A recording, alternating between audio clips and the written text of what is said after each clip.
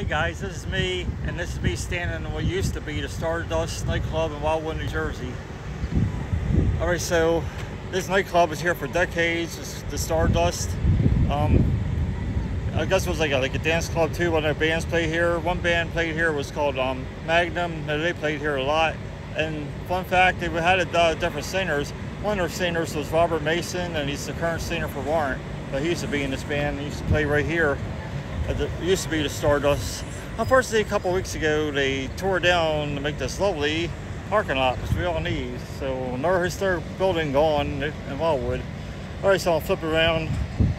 And all right, of course, all these cars my way, but right here, these telephone poles here was the start of it. And went all the way down here to this last meter. So that's a pretty big flow for a beach town. So from here to run double telephone poles are right there. And the cane about right here at the edge of the sidewalk.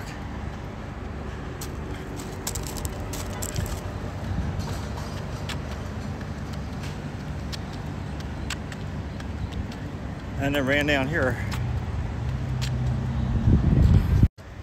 Alright, so that's your Wildwood history lesson for today. If you ever went to this nightclub, remember seeing it, remember seeing bands or see Magnum here, please let me know in the comments below. Thanks for watching.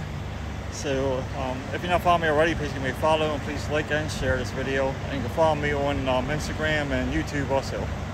Alright, see you guys later and see you at the beach.